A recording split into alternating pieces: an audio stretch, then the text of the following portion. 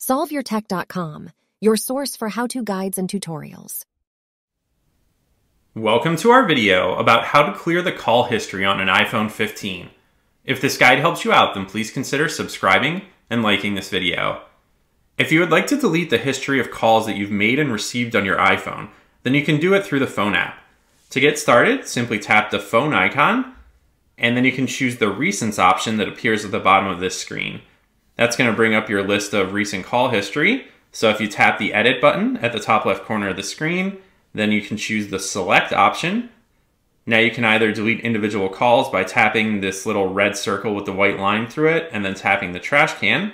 Or if you would like to get rid of all of the uh, call history at the same time, then you can tap the clear button and then select the clear all recents option, which is going to delete all of the recent calls from your history.